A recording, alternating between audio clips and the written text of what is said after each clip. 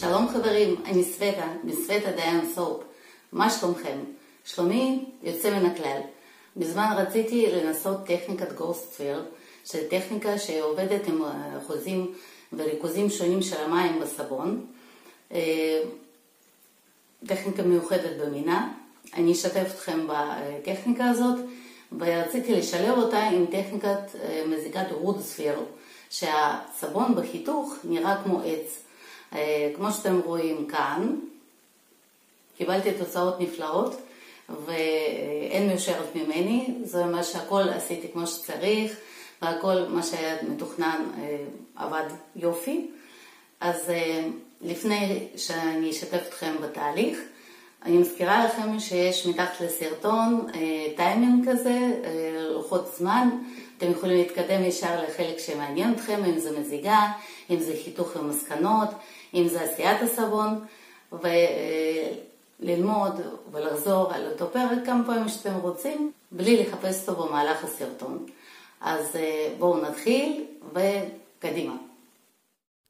אני מתחילה בסימון של תבנית, אה, של חלקים שאני רוצה לחתוך את הסבון, כי אני אחתוך אותו לרוחב ולא לגובה, כמו שחיתוך רגיל. אני שמה אמצעי הגנה, כפפות, משקפי מגן. עכשיו אני מתחילה בשקילה של שמנים קשים.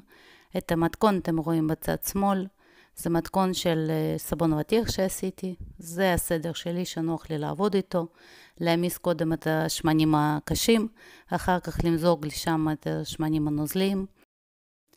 את הפאזה הימימית אני שוקלת פעמיים, פעם 200 גרם לכלל הסבון, ופעם שנייה 95 גרם לחלק עם אחוז המים הגבוה בסבון שיהיה לי, ושם אותם בצד.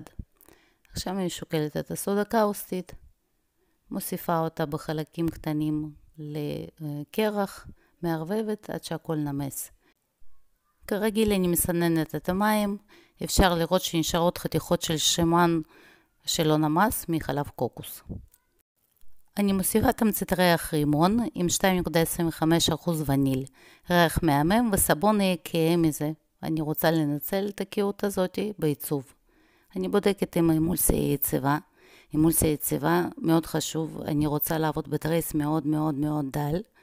ועכשיו אני מחלקת סבון לשני חלקים שווים, ובאחד מהם אני פשוט מוסיפה מים.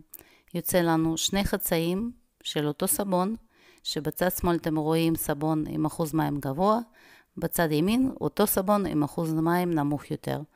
אני עוברת טיפה עם הבלנדר בשביל טיפה להסמיך את הסבון, כי הוא קצת נוזלי מדי. יש לי כלי מתאים מאיקאה מלפני מיליון שנה, שנשתמש בו לצורך אה, מזיגת הסבון. אה, תסתכלו איזה יופי הצד עם אה, אחוז מים גבוה, בהיר יותר מהצד עם אחוז מים נמוך. שימו לב, אין פה צבע בכלל, זה הכל בזכות אחוז המים, השינוי בצבע. אני מתחילה למזוג אותם בו זמנית וליצור מין פסים כאלה, והנה עכשיו אני עושה מין טקסטורה כזאת של עץ, וברגע שאני מגיעה לסימון של הגובה של הסבון, אני uh, מתחילה למזוג מין עיניים כאלה של סבון, כי זה מה שאני רוצה שיהיה לי בחיתוך. לוקחת uh, מקל עץ uh, כזה של שישליק ועוברת עוד פעם. אני שוב מוזגת את הסבון כי התרוקן לי הכלי. תראו עוד פעם, החצאים הם שונים בצבע וזה מדהים. אני ממלאה את התבנית ואני משלבת. פסים ישרים עם אה, מין אה, סירות כאלה, עד שאני מגיעה לסוף התבנית, וכבר אה, סופית מוזגת את העיניים של העץ, מייצבת אותם, ומכניסה את הסבון לתנור שחומה מראש ל-75 מעלות. אני עושה CPOP, ומשאירה אותו שם עד שהסבון מתקרר. כעבור 16 שעות אני חותכת את הסבון. אני מוציאה אותו מהתבנית, הוצאה לגמרי קלה, הסבון קשה ונחמד. אני מסמנת את החתיכות סבון שאני אחתוך מראש, כי אני, כמו שאני אמרתי, אני אחתוך אותו לרוחב ולא לגובה. הנה, אני חותכת לפי הסימון. אני במתח מאוד גדול, כי אני לא יודעת מה אני אקבל. מעניין שהסימון שסימנתי איתו את התבנית, אה, משחור הפך לאדום. זה רק הוכחה שלא כל צבע מתאים לסבון, וצבעים, לסבון צריכים להיות צבעים מיוחדים. אני שוב מסמנת את החתיכות וחותכת אותם אחד-אחד. מחזיקה אצבעות. איזה יופי של עיצוב. שימו לב, רק בזכות אחוז המים קיבלנו ממש עיצוב בצבע של הסבון, הוא גם כן לא חלק לגמרי.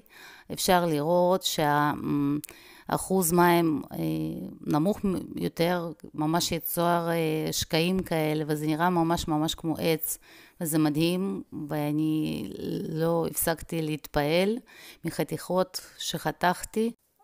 אני מנקה את הפינות של הסבון, ואני מחתימה את הסבון כרגיל. אופס, חלק הסבון עם אחוז גבוה של המים פשוט נתלש מהסבון. אני מחליטה להשאיר סבון להתייבש עוד כמה ימים, ובינתיים מנקה את הפינות ומתפעלת מהיופי הבלתי צפוי של סבון הזה. הנה בבקשה, יומיים אחרי כבר הסבון נהיה כהה יותר בזכות הווניל שבתוך הסבון, בתוך תמצית ריח. אה, מדהים, אני מחכה שהוא יהיה עוד יותר כהה. תודה רבה על הצפייה וניפגש בסרטונים הבאים. ביי.